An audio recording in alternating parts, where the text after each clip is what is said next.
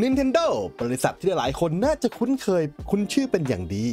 เพราะชื่อนี้เนี่ยผ่านมาทุกยุคทุกสมัยของคำว่าวิดีโอเกม ตั้งแต่สมัยเกมตลับนะครับจนถึง Nintendo Switch ปัจจุบันนั่นเองผลิตเกมที่กลายเป็นแฟนชส์ร้อยล้าน Mario เอ่ย Zelda เอ่ย Metroid เอ่ย และหนึ่งใน IP ที่โด่งดังมากที่สุดก็คงไม่พ้น Super Smash Bros. ครับ เกมต่อสู้สไตล์ Nintendo ที่นำตัวละครจากแฟนชส์ต่างๆมาฟาดฟันกันในเกม แม้ว่าตัวเกมจะได้รับความนิยมอย่างมาก และมีการจัดการแข่งขันอยู่บ่อยครั้ง แต่ถ้าผมบอกคุณว่านับตั้งแต่จุดเริ่มต้นของวงการ Smash Esport Nintendo ไม่คิดจะสนับสนุน community เลยมิหนำซ้ำครับ พี่แกเล่นส่งหมายศาล sniper ให้กับผู้จัดกันรัวๆจนกลายเป็นบริษัทที่นักแข่ง e-sport สายเกมต่อสู้เกลียดเข้าไส้ในคลิปนี้นะครับผม PCFX จะพาท่านผู้ชมมารู้จักกับวงการแข่งเกม Super Smash Bros. และทำไม Nintendo ถึงเป็นที่เกลียดชังของเหล่านักแข่งเกม fighting กันครับ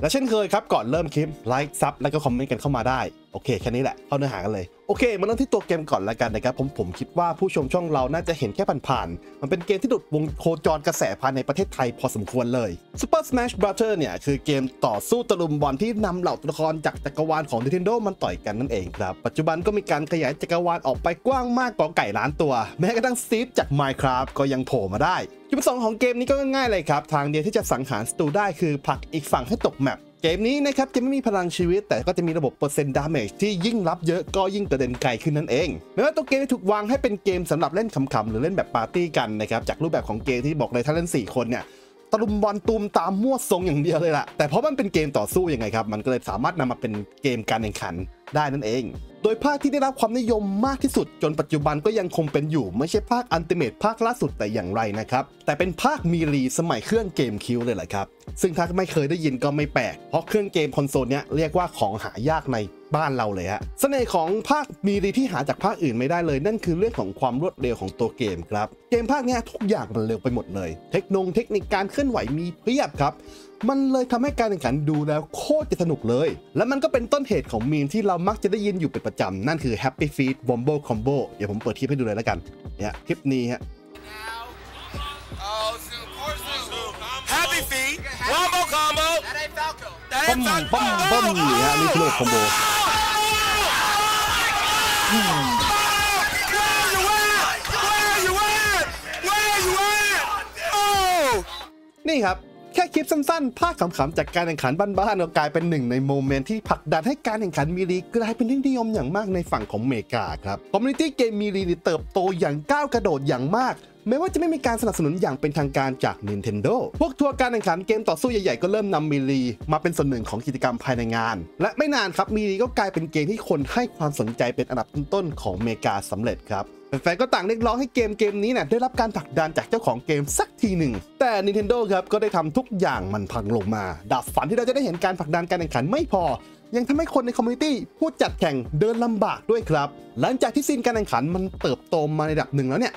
แน่นอนว่าเม็ดเงินมันเริ่มสะพัด มันเริ่มมีกำไร สร้างรายได้ สร้างอาชีพได้ใช่ไหมล่ะ Nintendo บอกก็เฮ้ยเฮ้ยโนโนเอ้ยมันเป็นบริษัทญี่ปุ่นนี่วะต้องอโน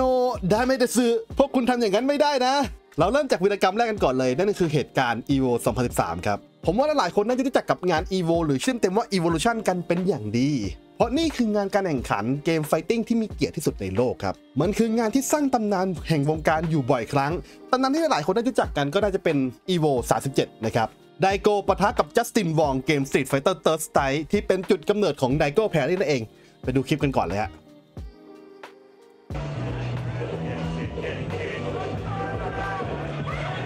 Let's go Justin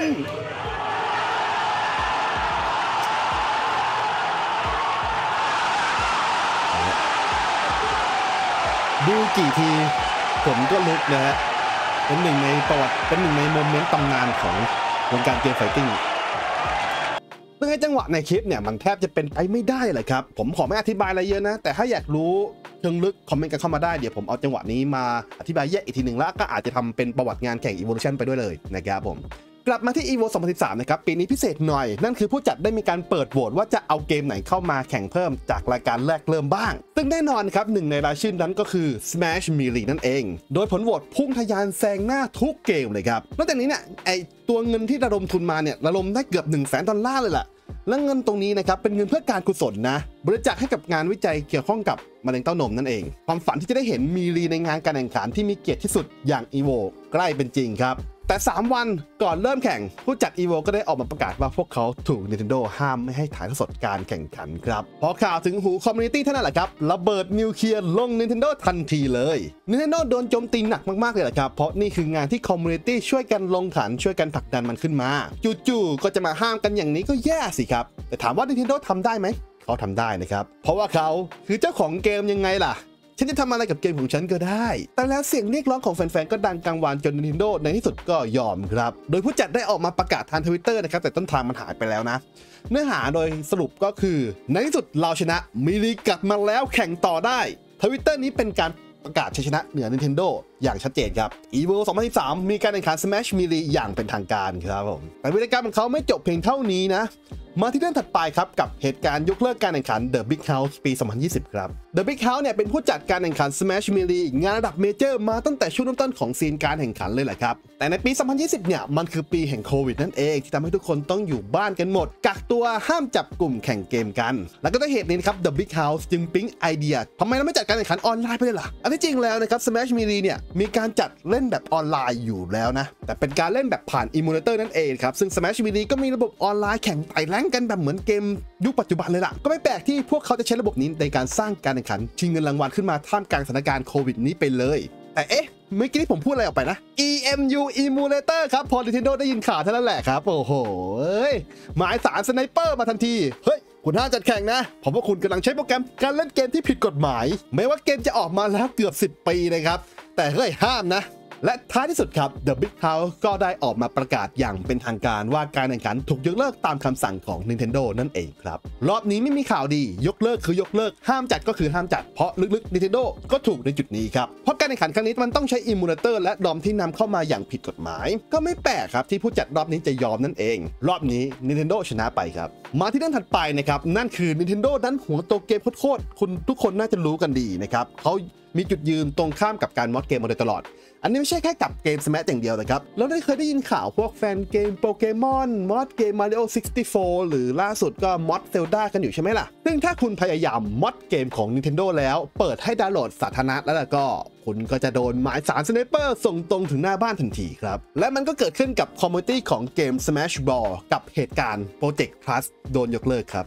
Project Plus คือ mod ของเกม Smash Bros ที่เป็นภาคอัปเดตของเครื่อง V นั่นเอง Smash Brawl เนี่ยถือว่าเป็นเกมที่นักแข่งไม่ให้ความสนใจสักเท่าไหร่นะครับ โดยที่ความไม่สมดุลของตัวเกม มันมีตัวอย่าง Meta Knight นะครับที่เป็นตัว Meta หนึ่งเดียวทำได้ทุกอย่างจนทำให้เกมไม่สนุกนั่นเอง และไอ้ mod เนี้ยมันก็ได้เข้ามาแก้ไขและปรับสมดุลของตัวเกม แถมทำให้เกมไวขึ้นเหมือนกับภาคของ Melee อีกด้วย Project Plus จึงได้รับความนิยมอย่างมากในหมู่ community และไม่นานนักก็มีแผนที่จะจัดการแข่งขันขึ้นมานั่นเอง โดยมีแผนที่จะเปิดตัวการแข่งขันระดับ major ครั้งแรกที่งาน Riptide ครับงานแข่ง Smash ชื่อดังของเมกาที่งานนี้มันแข่งเกือบจะทุกภาคเลยตั้งแต่ Ultimate ภาคล่าสุดหรือภาค Melee ที่ผมเกริ่นไว้ในคลิป ก็แข่งกันไปพร้อมๆกันนะฮะ แต่ฝันก็ดับสลายครับด้วยน้ำมือของ Nintendo เพราะหลังจากที่แผนการจัดแข่งขันครั้งนี้เข้าหูพวกเขาหมายศาลสไนเปอร์ส่งตรงถึงผู้จัดทันทีครับ ส่งผลให้รายการ Riptide ที่มีแผนจะจัดแข่งขัน Project Plus เนี่ยต้องยกเลิกกลางอากาศก่อนวันการแข่งขันไม่นานครับ เหตุผลก็อย่างที่บอกไป Nintendo ไม่ต้องการให้มีการนำเสนอตัวเกมที่มีการดัดแปลงสู่สาธารณะนั่นเอง